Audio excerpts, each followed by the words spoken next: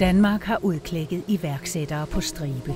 En af de mest visionære er Hans Niels Andersen. På mindre end 20 år lykkedes det for ham at skabe en verdensomspændende virksomhed med tusindvis af medarbejdere. H.N. Andersen var drevet af personlige ambitioner og af ønsket om at få genrejst Danmarks position i verdenshandlen.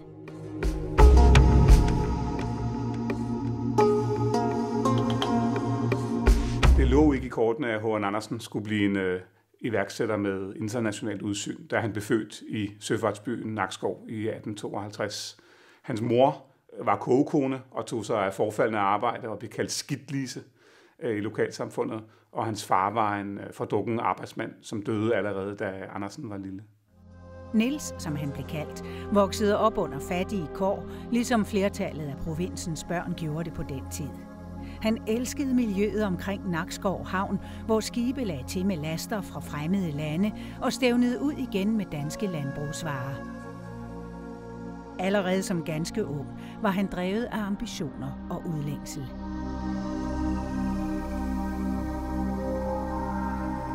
Så H.N. Andersen, han ville, han ville gerne til søs. Han øh, fik fandt ud af gennem sine ældre brødre, at i stedet for at starte som skibsdreng og arbejde sig op på den måde, hvilket var et, kunne være et temmelig hårdt liv afhængig af, af skibet, jamen så kunne man stå i lære øh, som på et værft som skibsbygger, og så på den måde komme højere op i hierarkiet, og som sagt så gjort, han stod i, i, i lære på et værft i, i Nakskov i, i en årrække, og så kunne han øh, starte som direkte som, som tømmermand ombord på et skib, altså på niveau med en matros og undgå den tidlige tid som, som dreng.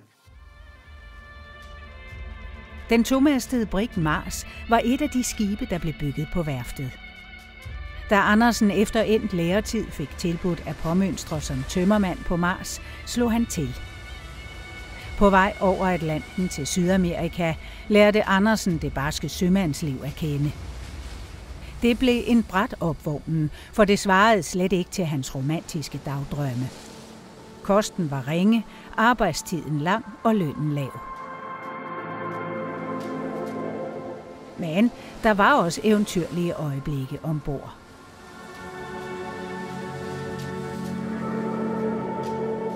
Første destination var Rio de Janeiro. Her blev Andersen ramt af en tropesygdom.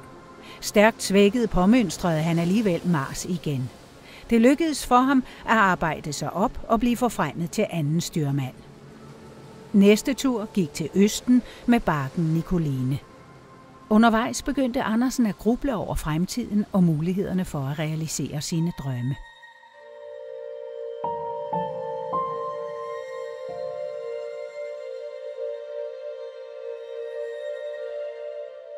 Andersens største ønske var at blive kaptajn på eget skib.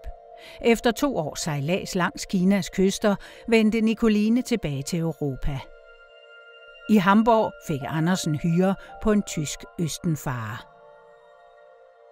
Skibets kaptajn var en dannet mand med kendskab til tysk litteratur og filosofi. Det satte sit præg på frivagterne. Der blev ikke bare spillet kort, der blev også læst verdenslitteratur og hørt klassisk musik. Det var en dannelsesrejse, der ansporede den unge, hvidebegærlige Nakskovit til at videreuddanne sig.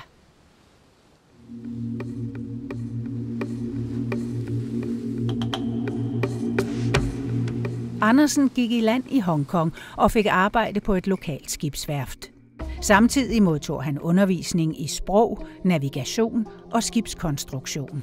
Da H.N. Andersen ankom til Hongkong, så var det et sted i rivende udvikling. Øh, Hongkong var en britisk koloni på det her tidspunkt, som blev bygget op som et nyt handelscentrum for især Kina, afløste det gamle kanton fra 1700- og 1800-tallet.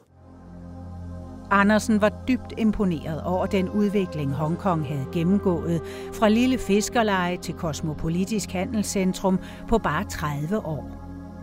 Han oplevede stor gæstfrihed over for alle, der kom til byen, og han kom frem til, at kulturforståelse og tolerance over for fremmede var en af de grundlæggende årsager til Hongkongs fremgang. Det var et dynamisk sted, men det gik ikke rigtigt for, øh, for Højen Andersen. Han kunne ikke rigtig få fodfæste, så det blev til nogle år i Hongkong, og så tog han videre.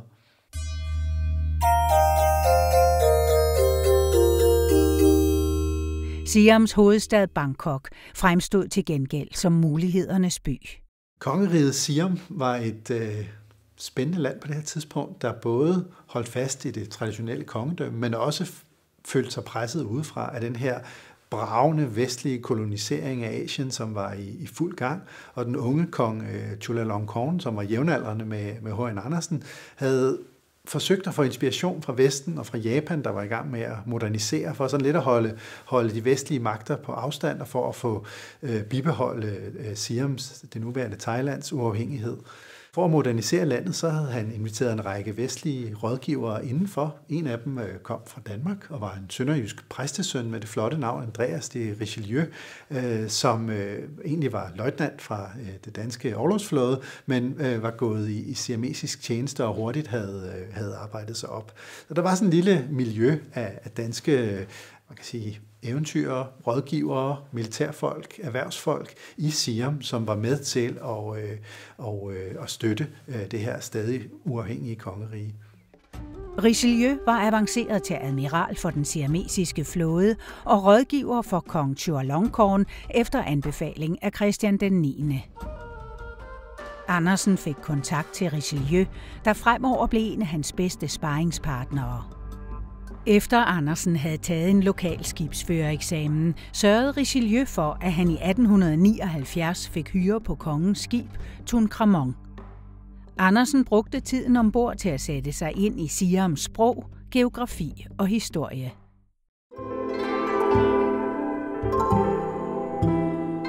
I 1883 blev Andersen udnævnt til kaptajn på det kongelige skib, og snart efter fremlagde han en storstilet plan. Som det første siamesiske skib skulle Tun Kramon deltage i transporten af tigtræ fra Asien til Europa. Planen blev godkendt takket være Andersens fabelagtige overtagelsesevner, og han satte faktisk selv alle sine spareskillinger i projektet. Han udvalgte tigtræet og udrustede skibet, som skulle sejle den farlige vej syd om Afrika til Liverpool. Teaktræet blev solgt i Liverpool med næsten 100 procent fortjeneste. På turen hjem var skibet ved at forlise, men det lykkedes at bringe skibet sikkert i havn, og Andersen endte med at tjene en formue på teaktræssejladsen. Og dermed realiserede han også drømmen om økonomisk uafhængighed og kunne lægge fundamentet til sin senere store virksomhed.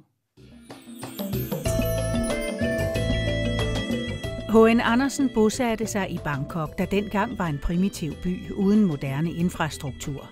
I 1884 stiftede han selskabet Andersen Company sammen med vennen Peter Andersen. Det at have en virksomhed med noget kapital på et sted, på det rigtige sted, på det rigtige tidspunkt, er helt afgørende. Og så vil sige, så kommer H.N. Andersen selvfølgelig med sin øh, dynamik og med sin energi, men det kræver også, at du er et sted, hvor du kan plante din, øh, din, din energi, sådan så, så der sker noget. Der var Bangkok et, et, et, det rigtige valg på det rigtige tidspunkt. Andersen og Company overtog byens sømandshotel Oriental Hotel. Som noget af det første tog H.N. Andersen et lån for at renovere hotellet. Og sammen med den siamesiske udenrigsminister Krotomar investerede han i byggemodning i området omkring hotellet og fik asfalteret gader. Andersen og Company ekspanderede hurtigt. Selskabet fik en lukrativ koncession på skovdrift i Nordsiam. Det betød, at Andersen og Company havde eneret til at udnytte alt tigtræ i et område, der svarede til 20.000 fodboldbaner. Det gik fremad for Andersen, og han var nu klar til at stifte familie. I 1886 giftede han sig med den pure unge Anna Marie, der var i familie med en af de danske Bangkok-kaptajner. Deres førstefødte døde allerede som spæd af en tropesygdom. Af hensyn til parets andre børn ønskede Anna Marie at vende tilbage til Danmark. Det vil sige, så står H.N. Andersen jo med et grundlæggende valg. Skal han blive og køre sin forretning videre i Bangkok? Med de omkostninger, det vil have for hans hustru, måske i virkeligheden, at hun forlader Bangkok, forlader ham og forlader familien. Eller skal de finde en anden livsbane, finde en ny vej? Og den nye vej kunne jo så være i København. Og der vælger han så det sidste, og man kan jo se derfra, der har H.N. Andersen en helt klar plan om at folde sin forretning, folde sin vision ud, men i en københavns kontekst, ikke længere i Bangkok. Andersens tidlige plan gik ud på at skabe et dammskibsselskab, der sejlede i linjefart mellem Europa og Sydøstasien. Det var et kapitalkrævende projekt, og Andersen gik derfor i gang med at undersøge mulighederne for finansiering. I 1892 rejste han sammen med familien til København. Som repræsentant for den danske koloni i Bangkok skulle Andersen overrække en gave til Christian den 9. og dronning Louise i anledning af deres guldbryllup. Det lykkedes for ham at få foretræde for den kongelige familie. Især mødet med kongens yngste søn, prins Valdemar, og hans kone, den franskfødte prinsesse Marie, skulle senere vise sig at få stor betydning – mens Andersen var hjemme i Danmark, undersøgte han mulighederne for at få finansieret sit projekt. Københavns førende forretningsmænd anså opkomlingen Andersen for en plattenslager, og de var til at begynde med meget kritiske over for hans projekt. Det møder selvfølgelig en masse skepsis, når du kommer og foreslår, at der skal laves et helt nyt linjerederi. Man har ikke noget linjerederi i Danmark, ikke engang i Norden, det findes kun i Frankrig, Tyskland og England. Landmandsbankens direktør Isak Glykstad var en af de første, der så potentialet i projektet. Han kontaktede Privatbankens direktør C.F. Titgen for at indgå en aftale om finansiering. Men forholdet mellem de to bankdirektører var dårligt. De var røget ud i en bitter strid om anlæggelsen af en ny havn, Københavns Frihavn. Det var et af Danmarks største anlægsarbejder – Glykstad stod i spidsen for det selskab, der skulle drive havnen. Han var derfor interesseret i at tiltrække rædderier og handelsselskaber til at benytte havnen. Bankdirektør Titgen var også direktør for Danmarks største rædderi, DFDS, der holdt til i Københavns Inderhavn. Titgen modarbejdede derfor anlæggelsen af den konkurrerende havn. Han havde for vane at afskære mulige konkurrenter fra at få deres projekter finansieret, og han afviste da også at støtte Andersen. Men Isak Glykstad var stadig positivt stemt over for Andersens projekt. Bankdirektøren havde undersøgt forholdene i Siam og mente, at Andersens koncessioner var lovende. De koncessioner er jo lidt ligesom en lotteriseddel. Der er et kæmpe potentiale i dem. Der kan komme den store gevinst, der kan lægge guld i de her miner, der kan ligge rigtig meget træ at hente, hvis de er de rigtige omstændigheder, ude i junglen. Men det kan også være, at det går galt. Det kan være, at der kommer en tørke, så kan du ikke hente træet ned. Det kan også være, at minerne slet ikke har det potentiale, som man håber på. Så det er en lotterisæde, men potentialet er stort.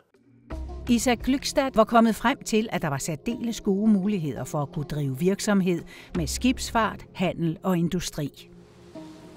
Han bad derfor Andersen om at lave en forretningsstrategi den her professionelle bank, man tvinger i virkeligheden H.N. Andersen til at være meget konkret i forhold til, hvad det er, han vil. De store visioner er der, ja, men de helt detaljerede missioner, hvordan kommer du hen til visionen, de kommer også på plads nu. Så der findes faktisk dokumenter tilbage fra 1897 i ØK's arkiv, hvor du kan se detaljeret beskrevet, hvad det er for en strategisk grundlag, der skal være for den her virksomhed, der bliver til Danmarks største virksomhed senere hen. Det er helt unikt i øvrigt i dansk erhvervshistorie, at vi har sådan nogle strategiske planer, for sådan nogle lavede man ikke normalt dengang. Men det krævede i så Glykstad altså det her tilfælde, at der skulle laves nogle meget konkrete planer og en meget professionel bestyrelse, der skulle til. H.N. Andersen vendte tilbage med en overbevisende forretningsstrategi, og Landmandsbanken gav derfor tilsavn om finansiel støtte. Selskabet blev stiftet som et aktieselskab og officielt registreret i Handelsregisteret den 27. marts 1897. Navnet på det nye selskab blev det Østasiatiske Kompani. H.N. Andersen ønskede at skabe en moderne version af tidligere tiders handelskompanier. På havnen i Nakskov havde han som barn hørt de gamle fortælle om de hederkronede kompanier. H.N. Andersen han var meget bevidst om historie. Både sin egen historie, om Danmarks historie og at bruge historien. Og han var også sådan direkte inspireret af, hvad der egentlig var foregået i de gamle kompanier, især Ostindisk kompani og Asiatisk kompani. Asiatisk kompani, som eksisterede i over 100 år, i 1700-tallet og ind i 1800-tallet, var muligvis Danmarks mest profitable virksomhed nogensinde.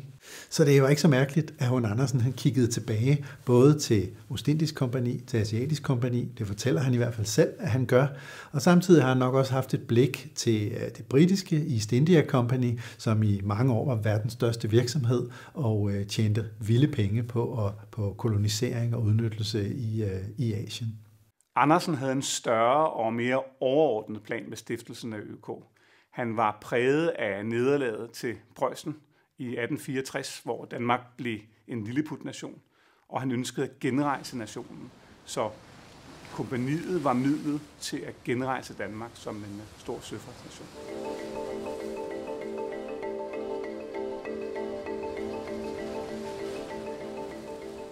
Det er jo en helt ekstrem ambition at have med en nystartet virksomhed. Vi skal ikke alene skabe en virksomhed, vi skal ændre landets position i storpolitikken. Det var det, han ville. Og vi skal lige huske på, at i slutningen af 1800-tallet og begyndelsen af 20. århundrede, der var Danmark altså en økonomisk periferi, og København var ikke en, en, en, en stor stad. Øh, I dag har vi jo kæmpe store virksomheder i Danmark. Det havde vi ikke på det tidspunkt. Det var landbrug, det var meget, meget spæd industri. Det var Hamburg, der var den vigtige handelsstad øh, i, i Nordeuropa. Det var ikke København. Stiftelsen af Østasiatisk Kompani og dens tidlige tid falder på et godt tidspunkt. Der er vækst og fremgang i verdensøkonomien. Konjunkturerne er med firmaet. Der er nye muligheder. Der åbner sig nye teknologier. Som iværksætter, så selvfølgelig skal man have viljen, man skal have evner, og man skal have den gode idé, et skarpe blik og kunne netværke, men man skal også være på det rigtige sted på det rigtige tidspunkt, og man skal også være heldig. Det man selvfølgelig selv kan styre, det er, at man giver heldet plads til at udfolde sig, og det er nok det, vi i virkeligheden ser her, at, at H.N. Andersen han er på det rigtige sted på det rigtige tidspunkt, øh, så han giver heldet plads.